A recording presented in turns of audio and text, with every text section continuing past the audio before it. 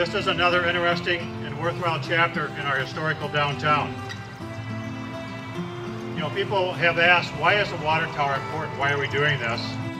There are many reasons, but one that applies tonight is the history fortifies a sense of identity by pulling people together and giving something that they can recognize as being important in the past.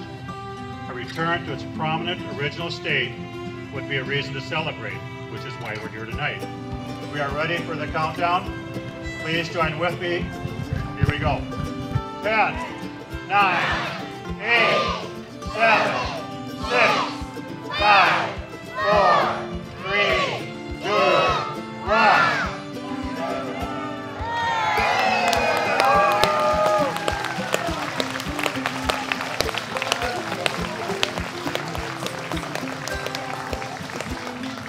Thanks for everyone for being here tonight. Uh, enjoy some more time with your friends, enjoy the lights, and enjoy some more ice cream.